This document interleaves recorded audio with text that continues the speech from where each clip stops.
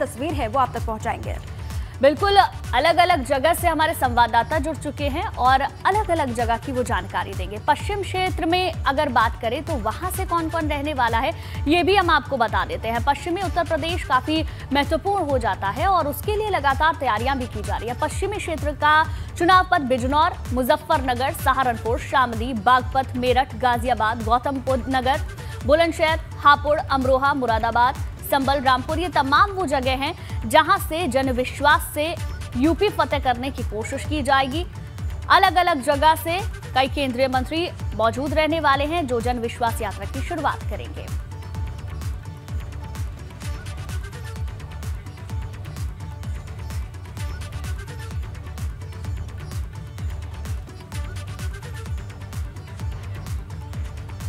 और अविनाश हमारे संवाददाता हमारे साथ पश्चिम क्षेत्र की जानकारी देने के लिए जुड़ गए हैं। अविनाश, पश्चिमी उत्तर प्रदेश काफ़ी महत्वपूर्ण हो जाता है और जन विश्वास यात्रा वहाँ पर कितना काम करेगी, ये देखने वाली बात होगी।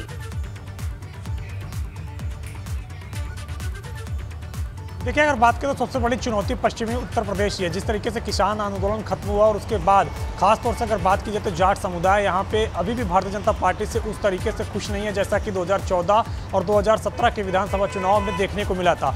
आज अगर बात करें तो यहाँ पर तकरीबन एक बजे के करीब गुलाब सिंह डिग्री कॉलेज चांदपुर बिजनौर में केंद्रीय सड़क परिवहन मंत्री नितिन गडकरी पहुँचेंगे और जन विश्वास यात्रा की शुरुआत करेंगे। ये वो बेल्ट है जहाँ पे भारतीय जनता पार्टी को दो हज़ार उन्नीस लोकसभा चुनाव में कई सीटों पर हार का सामना करना पड़ता खासतौर से अगर बात करें तो मुरादाबाद, रामपुर, संभल, अमरोहा, नगीना, बिजनौर, ये वो तमाम सारी सीटें जहाँ विपक्ष के खाता खुला था और विपक्ष यहाँ से जीत दर्ज करने में कामयाब रही थी। तो ऐसे में विपक्ष की भी यही भूमिका रहेगी कि वो 2019 का जो लोकसभा चुनाव रहा है, उसके मतों को 2022 में अर्जित किया जा सके। वहीं भारतीय जनता पार्टी के सामने चुनौती है कि 2017 में इस बेल्ट में भारतीय जनता पार्टी ने काफ़ी बेहतर प्रदर्शन किया था और इस बेल्ट की लगभग सारी सीटों पर विजय फतह की थी। तो ऐसे में उसकी भी कोशिश है कि कैसे फिर से एक बार इन तमाम सीटों पर जीत हासिल की जा सके। और यही कारण है कि जब नितिन गडकरी इस यात्रा की शुरुआत करेंगे तो तमाम तरह वो बड़े चेहरे संगठन के उनके साथ मौजूद रहेंगे। खासतौर से अगर बात करें तो पश्चिमी क्षेत्र के जो क्षेत्रीय संगठन मंत्री हैं, मोहित बेनीवाल उनके साथ मौजूद रहेंगे। और इसके अलावा अगर बात करें तो अन्य संगठन के पदाधिकारी भी वहाँ पर मौजूद रहेंगे।